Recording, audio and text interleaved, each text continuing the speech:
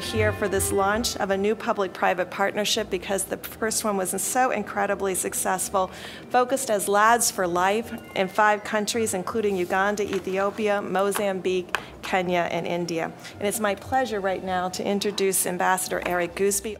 Really want to thank everybody here today for helping us really celebrate the launch of really this important um, next phase of our partnership with um, BD. The BD PEPFAR Laboratory Strengthening Partnership was the first public-private partnership supported by the United States government that has taken a comprehensive, integrated approach to laboratory system strengthening in multiple African countries. The second phase of this partnership, Labs for Life, will invest up to $20 million and leverage lessons learned during the first phase to promote the vision of an AIDS-free generation by strengthening laboratory systems. Our business starts with one very simple but powerful idea, that above all, our work is helping all people live healthy lives. And that's what our Global Health uh, Initiative is about.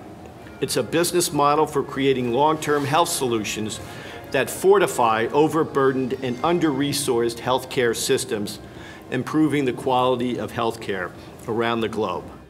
We'd like to take this opportunity for you to sign the new agreement oh, between mm -hmm. the partnership. Okay.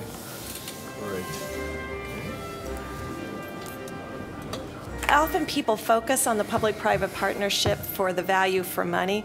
To me, it's much greater than that. It is the people that the companies bring to the partnership. It's the people who we have access to that have strong values in laboratory systems development. We're proud at CDC that uh, this that we have this collaboration between our field staff, ministries of health, and public-private partnerships like with BD that really provides a model of integrated technology, training, uh, and infrastructure development in sub-Saharan Africa.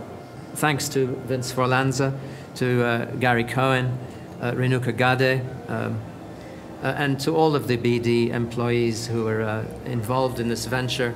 We are confident that this strengthening of the laboratory systems will better support that effort and move, continue to move uh, the continent of sub-Saharan Africa into, I think, a higher quality um, delivery of medical care and services.